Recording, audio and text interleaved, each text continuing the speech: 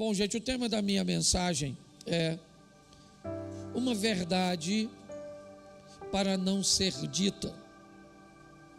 Isso mesmo. Uma verdade para não ser dita.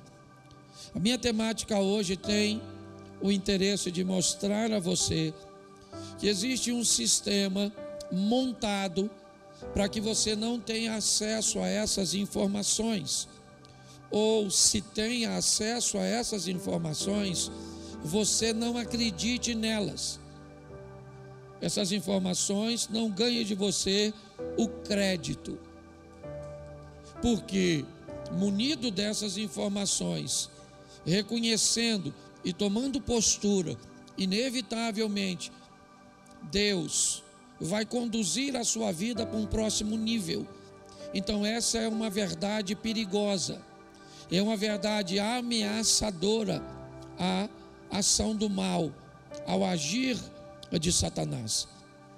Então não há nenhum interesse do maligno de que tenhamos o entendimento disso.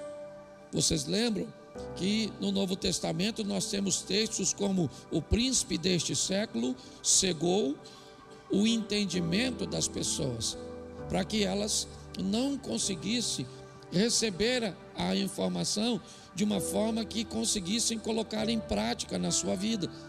Porque quem perderia com isso era seria Satanás. Então, essas informações que eu vou te dar, eu preciso, talvez ela vai entrar em choque um pouquinho com o seu modelo mental.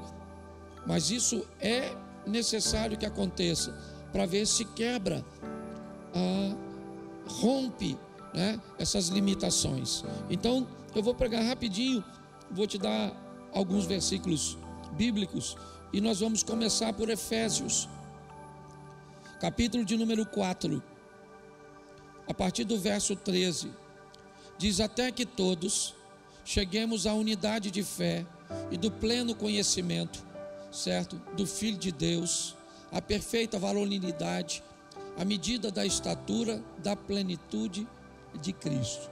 Então, todos nós cheguemos a uma unidade de fé e do pleno conhecimento do Filho de Deus, de Cristo, certo? E nos tornemos perfeitos, a perfeita varonilidade, varonilidade, certo? À medida da estatura da plenitude de Cristo. Feche os seus olhos. Senhor nosso Deus e Pai, em nome de Jesus, eis aqui a tua palavra, continua falando conosco.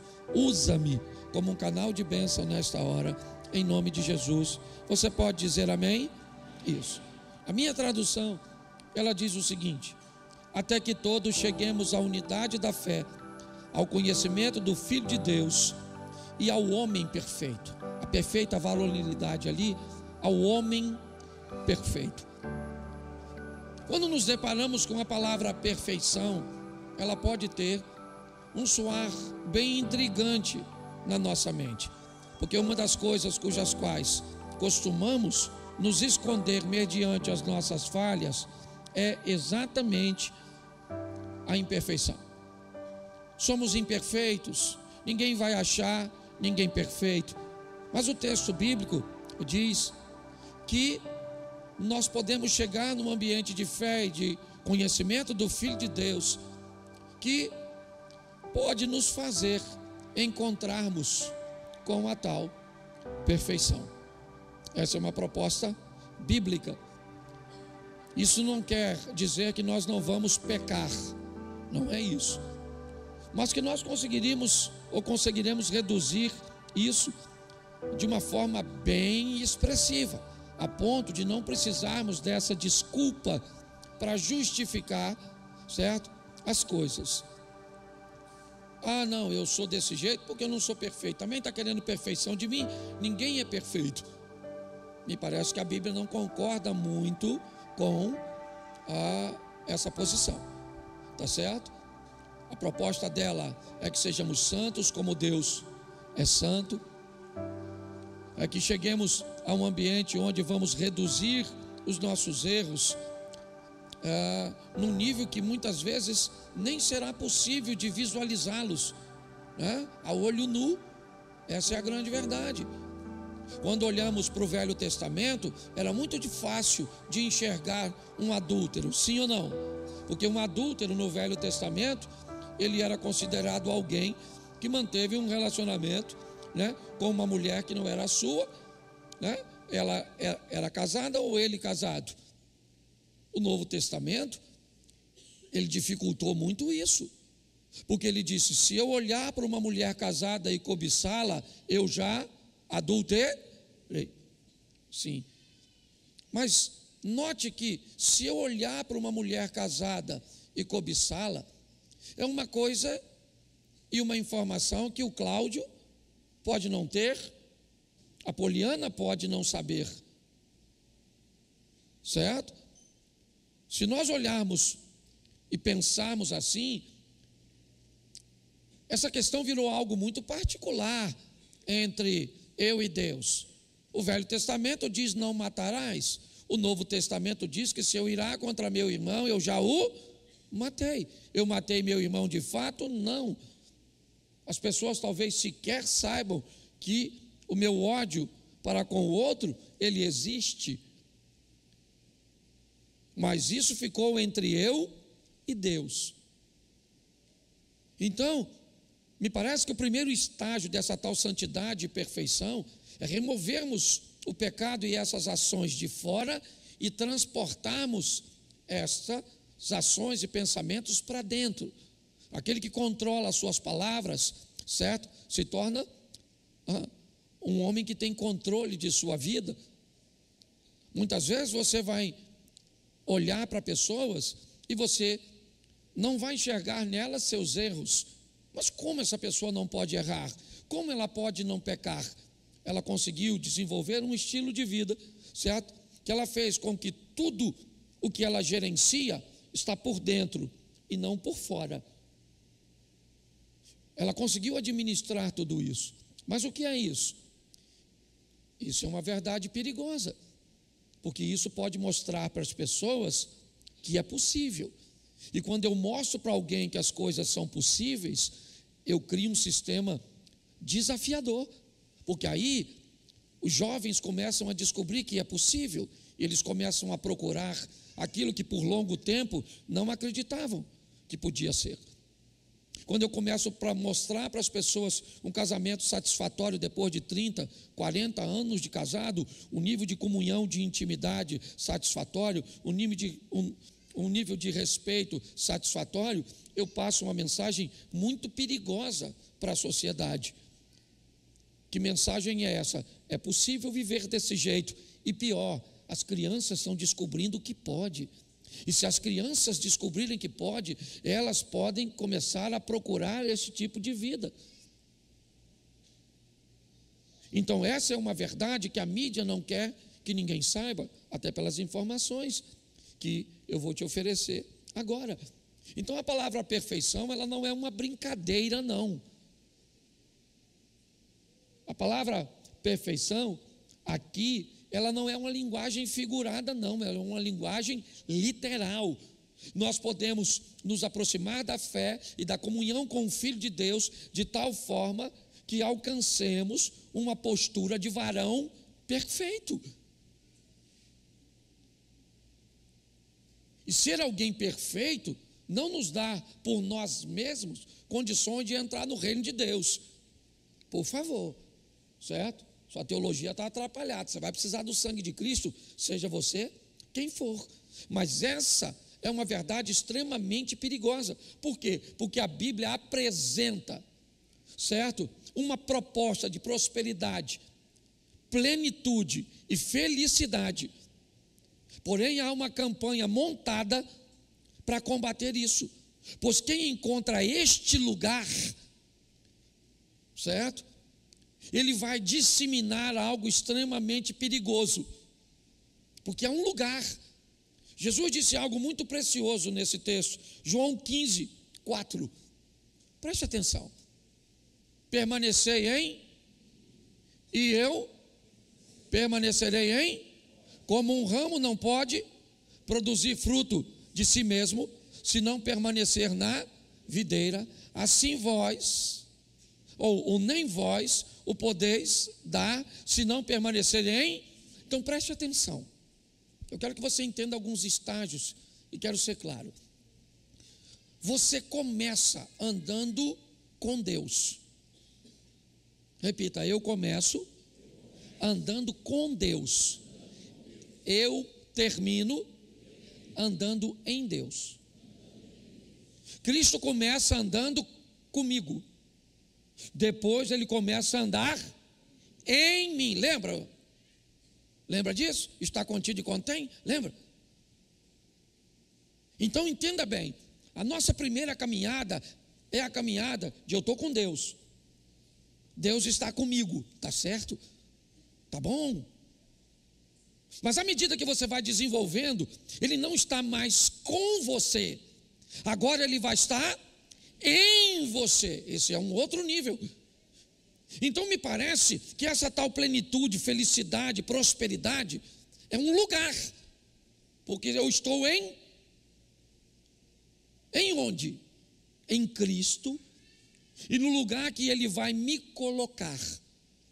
Então, quando é que eu descubro que essas coisas estão acontecendo e eu, que eu estou sendo puxado para esse novo estágio?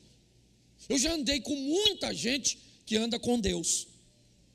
Mas depois de um tempo eu comecei a andar com gente que andava em Deus. E eu comecei a ver a diferença. Todos são crentes, todos vão para o céu. Mas havia uma diferença nítida, clara, certo? Do estilo de vida de quem anda com Deus e do estilo de vida de quem anda em Deus. Que Deus está nele e não simplesmente com ele. O que é que acontece com essas pessoas quando elas começam a andar em Deus, quando Deus não está mais com ela, simplesmente estar nela. A primeira coisa que eu vejo é diminui drasticamente nessas pessoas o desejo de ter as coisas. O significado das coisas para essas pessoas, elas diminuem não que elas não sejam importantes, elas não são mais prioridade. As pessoas, elas querem, elas almejam, elas têm seu interesse, isso faz parte da vida, mas não há mais prioridade nisso. As coisas começam a perder o valor para você, porque em Cristo você começa a descobrir o verdadeiro sentido da vida. E que por mais que você tenha, você vai sair deste mundo da maneira que chegou, sozinho e sem nada. Essa é a grande verdade. Você chega só e sem nada, e sai só e sem nada, e às vezes deixando tudo o que construiu para os vivos brigarem entre si. Essa é a grande verdade. Então, quando as pessoas estão com Cristo, elas vêm para a igreja, elas querem carro, elas querem casa, elas querem isso, elas querem aquilo, elas querem aquilo outro. Ela, é, é, é um querer que é um negócio fantástico. Mas quando elas estão em Cristo, elas continuam almejando e querendo, sim ou não? Mas a intensidade diminui. E a Bíblia nos mostra isso de uma forma muito simples. Lucas 12, 15. Dá uma lida nesse texto, certo? Olha como é que ele nos mostra, certo? Então lhes recomendou: tem de cuidado e guardar de toda e qualquer avareza, porque a vida de um homem não consiste na abundância de bens que ele possui. Olhe bem, a Bíblia em momento nenhum faz apologia à pobreza e à miséria. Aliás, eu acho que a Bíblia não é um livro para pobre. É, pastor? Que história é essa? Está lá escrito: os pobres sempre terei convosco.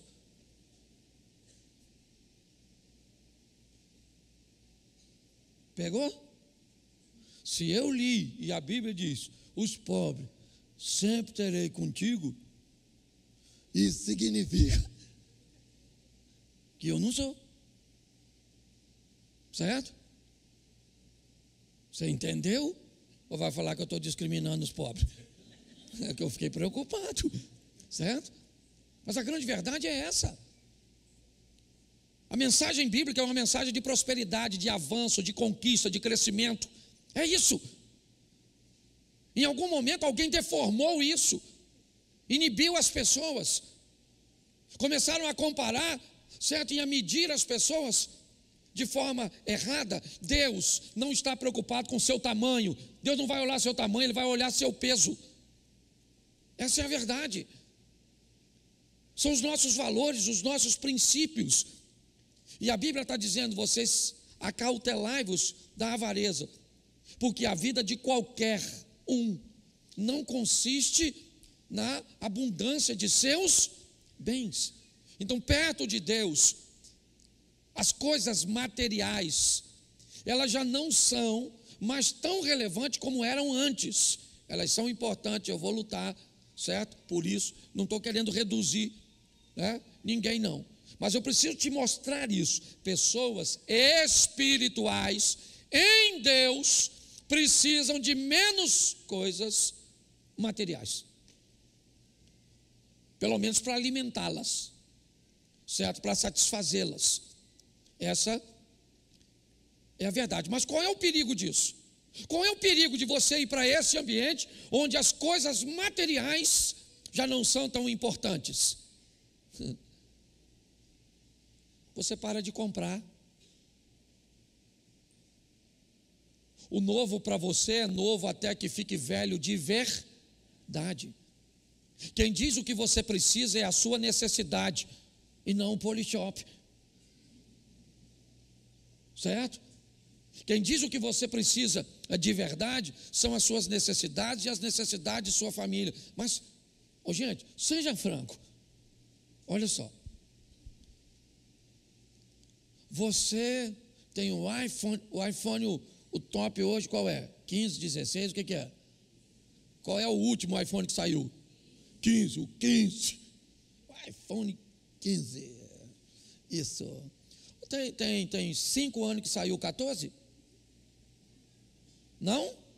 O 14 saiu três anos atrás? O 14 saiu dois anos atrás? O 14 saiu há quanto tempo atrás? Quanto tempo? Um ano? Aproximadamente um ano? O, certo? E aí eu quero te perguntar: quem tem um 14? Eu tenho. Aqui. Esse dia o cara falou para mim: Pastor, o senhor tem um iPhone 14?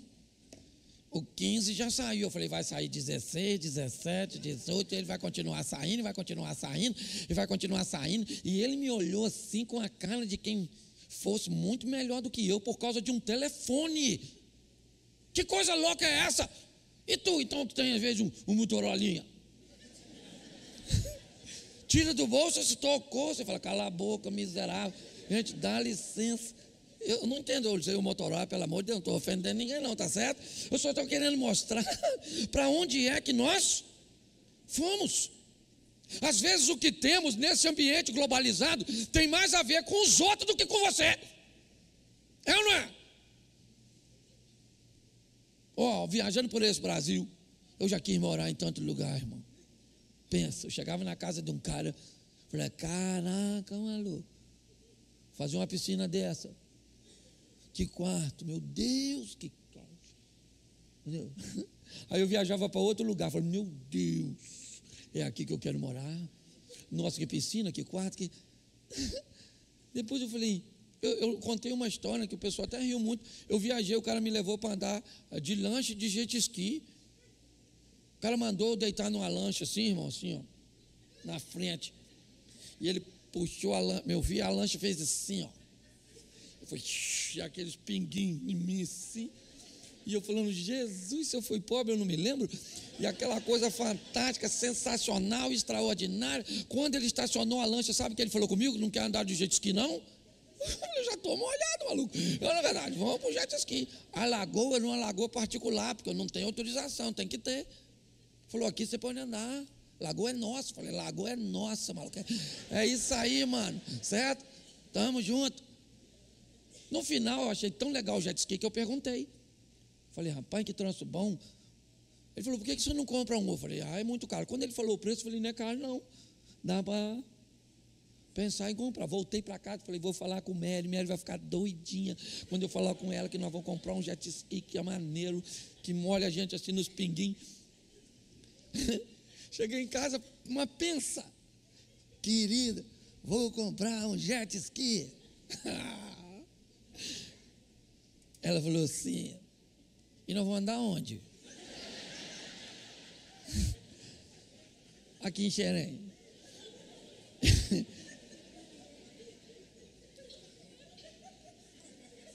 Aí eu. É, não precisa nem do jet ski para levar um banho, não. Ela mesmo deu, entendeu, velho? E aí você começa a descobrir que tem muita coisa que não tem nada a ver conosco. Na nossa casa, no nosso. Está assim de coisas. Por quê? Porque a proposta do sistema é: não seja feliz com aquilo que você tem. Porque se você for, o sistema quebrou. Então, porque é difícil, porque é difícil, certo? Então, a forma de estarmos plenos, de encontrarmos esse lugar de felicidade, de plenitude e de prosperidade, é trazer Cristo de fora para dentro. Ele vai parar de andar comigo e ele vai começar a andar em. Fala assim, andar em mim. Isso, pronto. Aí eu sou feliz. Diminuo as compras, certo? O que os outros têm ou não têm já não irrita mais nós. Irrita você? Hum? Irrita não, né? Esse dia falou que um cara aqui no Mantiqueira passou numa McLaren. Alguém viu isso? Uma McLaren branca, um ronco. Oh, oh. O cara dá uma acelerada aquela atrás do seu gol, bolinha.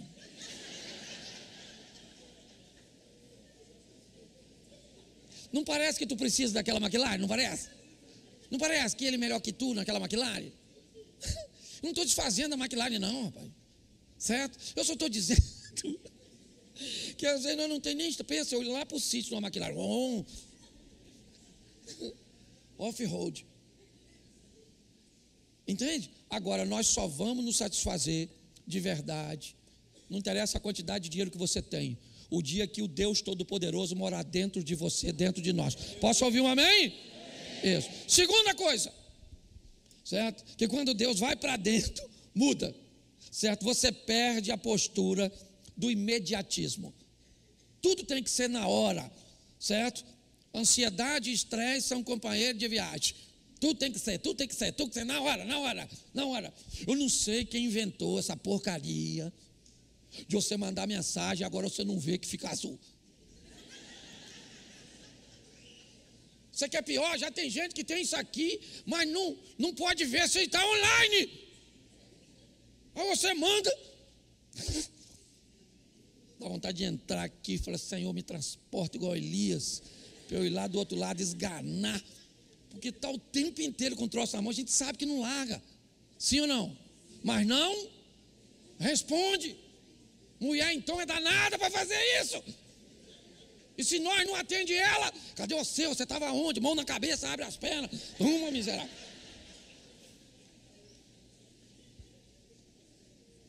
Então deixa eu falar uma coisa com você, brincadeiras à partes. Filipenses 4, 6. Está aí, ó, para nós. Não andeis ansiosos de coisa alguma. Em tudo, porém, sejam conhecidas diante de Deus as vossas petições. Preste atenção, continue orando e apresente tudo diante de é isso, a oração está lá, ó. Diante de Deus, as vossas petições, pela oração e súplica, com ações de graça. Não está dizendo para você não orar, ore, apresente a Deus, porém não ande ansi, porque sabe que Deus está no controle de todas as coisas.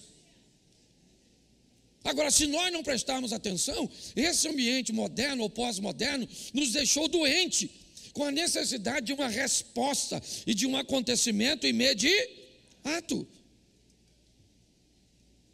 E a única maneira de fazer isso, gente, de conseguir esse estilo de vida é pegando um Deus de fora e levando para dentro. Aí você não anda ansioso por coisa alguma. Você continua orando, certo? Clamando, suplicando, mas você está tranquilo, porque sabe que o Deus que você serve te ouve, e aquele que há de vir virá e não tardará. Mas se não tivermos isso, seremos crentes, sim ou não?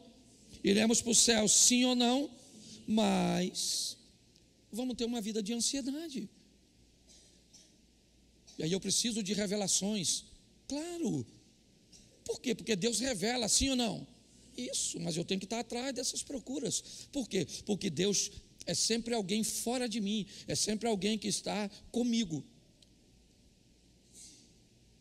Quando Deus sai desse ambiente externo e entra, eu continuo respeitando o ambiente das revelações, o profético, os dons, sim ou não?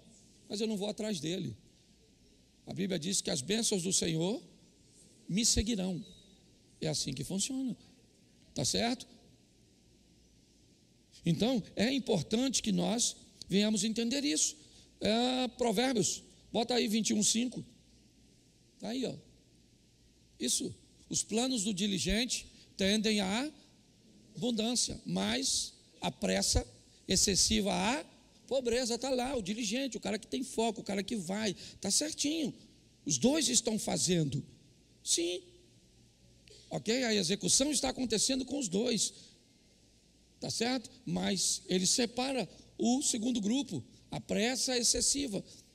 Ok? A insegurança, a sensação de que eu preciso fazer algo porque Deus está demorando demais. Foi assim que nasceu Ismael. O que você vê hoje, hoje, certo?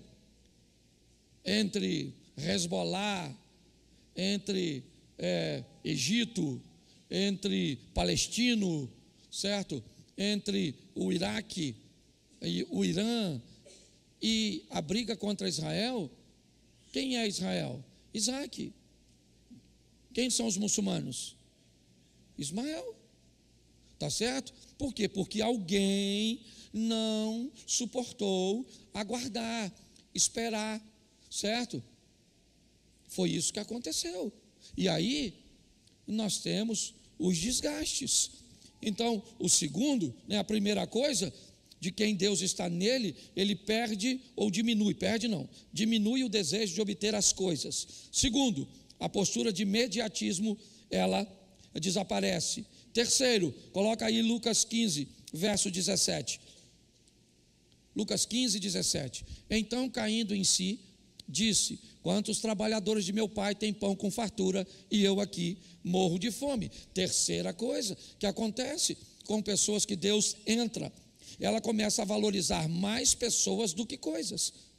O jovem rico, antes de sair de casa, o que ele valoriza? Os bens. Pai, me dá parte dos meus bens. Está certo?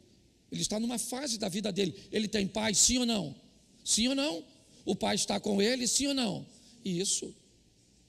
Mas agora que ele está lá fora e perdeu tudo, agora nesse ambiente de perda, o que ele fez? Ele lembrou do pai. Eu vou voltar para o meu pai. Ele disse: Pai, eu não quero mais seus bens. Tá certo? Eu só quero ser chamado de seu filho. O que ele aprendeu nessa viagem? Ele aprendeu certo? que as pessoas, elas são mais importantes do que as coisas. Ali, ele não perde só dinheiro, não. Ali, ele perde a altivez, certo? Ele ganha a humildade, ele entende o que é generosidade, o que é respeito, o que é educação. A vida está ensinando você, pare de se vitimizar, aprenda o mais rápido possível, porque Deus quer nos levar para um outro tipo de relacionamento, onde nós temos coisas, sim, temos coisas, sim. Aprendemos a ter um, equilíbrio para alcançá-las, sim. Não precisamos puxar o tapete, não precisamos acelerar o processo, não estamos aí para o imediatismo. E aprendemos a valorizar pessoas, e não simplesmente coisas. O quarto ponto, coloca para mim Neemias, capítulo 4, verso de número 13. Olha aí.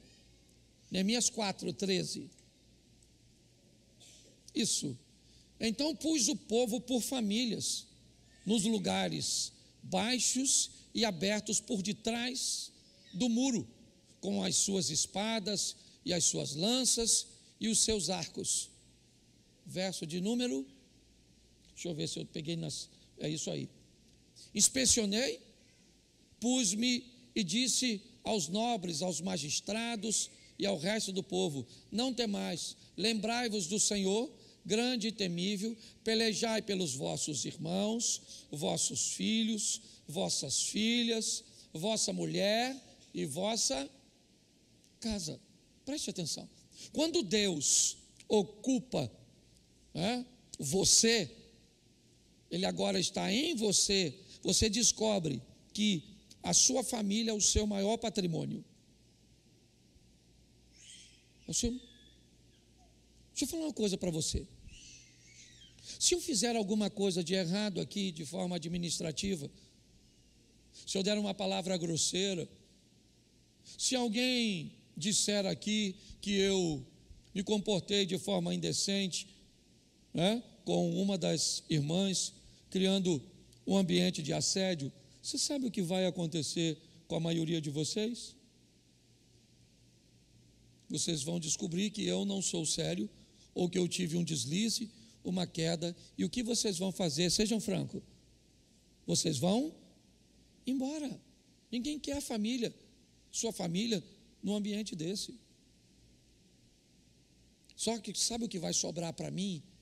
A minha família.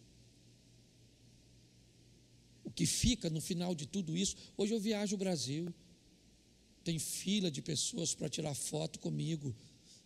Certo? Hoje pessoas me dão coisas, me oferecem coisas, abrem portas. E não tem a ver com grana, não. Não tem a ver com grana, não. Aqui, aqui, é meu amigo, eu posso falar, não vou usar nome. Aqui tem camarada que hoje está mais rico do que era antes. E é muito rico, não é pouco, não, é muito rico. Você está entendendo? Muito rico. Mas hoje não tem mais a visibilidade e não serve mais, certo? Por propósito de grande parte das pessoas, certo? As pessoas já não tratam como antes. A verdade é essa. Porque a maioria das pessoas não gostam de nós, só gosta do que temos ou fazemos. Basta aparecer alguém mais importante que elas vão embora. E se você gosta ou não, é assim que a vida funciona. Então pegue na mão da sua esposa, dos seus filhos, do seu marido, dos seus pais, dos seus irmãos e valorize, porque é o que sobra. Mas você só descobre, só descobre isso quando Deus está dentro. Se ele não entrar, nós ficamos com essa visão doentia certo? De que temos, deixamos tudo na rua. Não, eu vou para o trabalho, eu vou trabalhar, isso aí. E aí o que, é que eu deixo? Eu deixo tudo de mim no trabalho. Sabe o que, é que fica no trabalho? Toda a minha educação. Sabe o que fica no trabalho? Todo o meu respeito. Sabe? Todo o meu vigor. Tudo. Eu deixo tudo no trabalho. Porque o trabalho é tudo. E o que, é que eu levo para casa? Só o refil. Se um falou alguma coisa, minha irritabilidade vai nas alturas.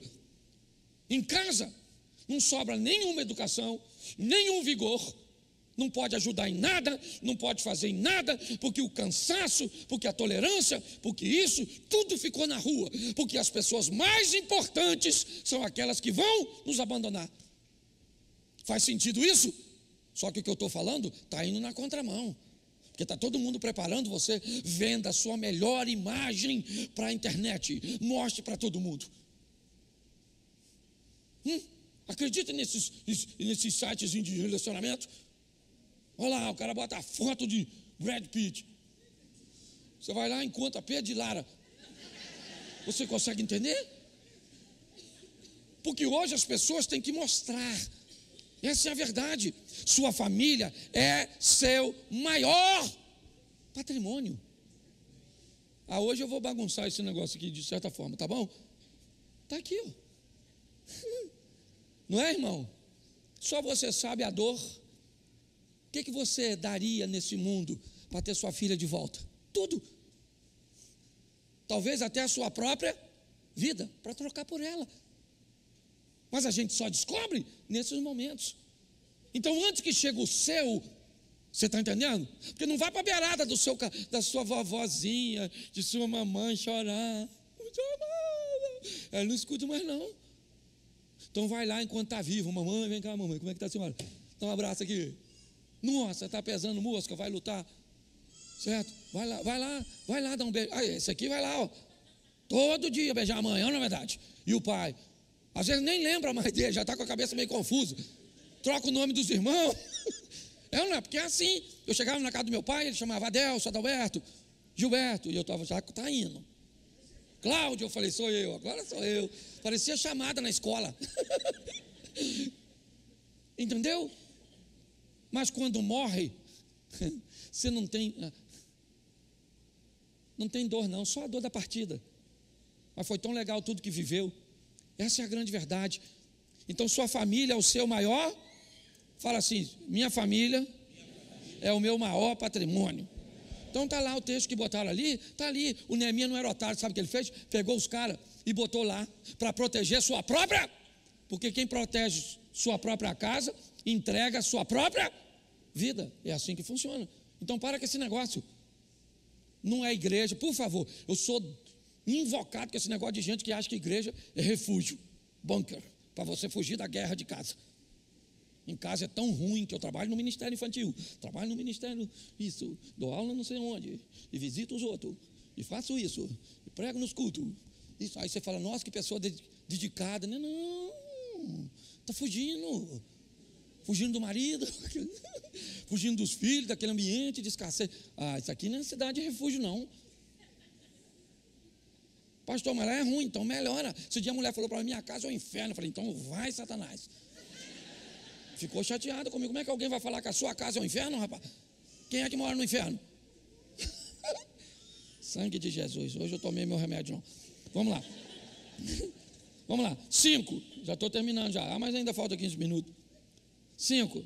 Certo? Aquele que Deus está nele procura diminuir o sofrimento do próximo. A manifestação do amor ao próximo é nítida quando Deus está nele. Sim ou não? Isso. Aquele que Deus está nele, ele sabe que o irmão não é maior do que ele. Escute isso aqui, viu? A Bíblia diz: amai o próximo como. Então, o primeiro mandamento qual é? Eu costumo dizer que, na verdade, para mim, tem 11 mandamentos. Tá certo? O primeiro qual é? Amai a Deus. E o segundo, amai ao como? Então presta atenção. Amai ao próximo como a ti. Primeiro eu amo quem? Eu. Nesse texto você vê duas orientações. Ame o próximo como você ama você. Então você ama primeiro a. Vamos, vamos na ordem direitinho. Você ama primeiro a, depois, e depois, aí. Então, quem anda com Deus, ele, né? O Cid me fez uma solicitação, falou, pastor, dá um aviso para a igreja, porque está chegando agora o início do mês, nós distribuímos alimento para as pessoas. Então, avisa para quem tem, para que no próximo domingo tragam, certo, um quilo de alimento, ok? Para que nós possamos distribuir. O que, que é isso? Isso é preocupação com o próximo, não? Isso, e o pastor que esqueceu de fazer o anúncio na hora certa. Então usei. tá certo? Fiz as duas coisas num ambiente só. Tá aí a turma que caminha comigo, estamos juntos nesse negócio. É, é isso aí. Você consegue entender? Então, aquele que Deus está nele, vamos lá, coloca Neemias. Ah, isso, 2,2. Neemias 2,2. Isso, olha lá. O rei disse o quê?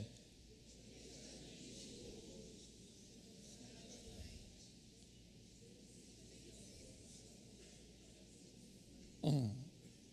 Entendi.